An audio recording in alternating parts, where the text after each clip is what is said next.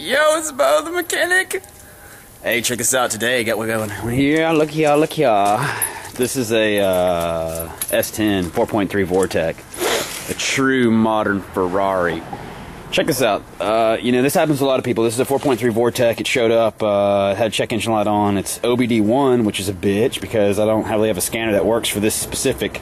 I've got an OBD1, but I don't have an OBD 1.5, which is what this is for 95. 96 was a switchover year, so you'd have OBD2, which is like the little scanners you always see people just plug in. Anyway, this is just a quick, uh, almost all the time, either it's got a cylinder misfire, you know, one of the spark plugs isn't working or the injectors isn't working or this damn EGR valve is bad.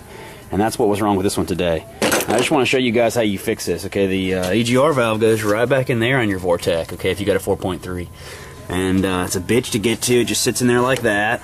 Okay, this is the one that I pulled out. How you'd know if it was bad or not, I'm running out of battery, so I'm to run through it real quick. You'd plug this thing up while the car's running and just sit it right here.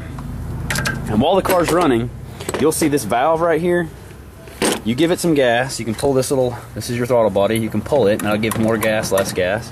And you'll see this valve open and close, open and close, open and close, open and close. So, like with this customer's car, you know, I just took it apart and I have it sitting here running, and you can give it some gas, and you want to see this valve open and close, and it doesn't. So we know this EGR valve is toast, or the signal is toast. So I went ahead and ordered another one. This is the new one. Plug it right up, and you give it gas, and you can watch that little valve go up and down as you give it gas.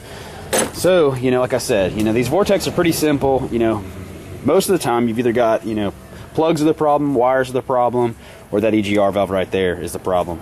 Another thing you can do is try and clean it by blowing compressed air back in those two holes. And I've already done that. It didn't fix it. So now we're on to the next problem is replacing the EGR valve. All right, have fun, guys.